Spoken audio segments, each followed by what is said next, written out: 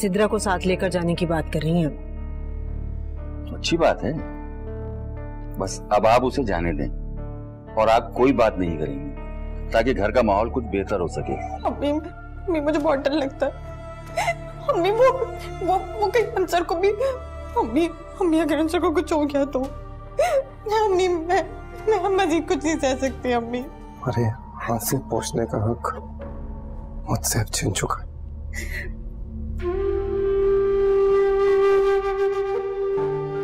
जो भी हुआ बहुत बुरा हो गया उठ जा बेटा। चलो बेटा। ठहरो।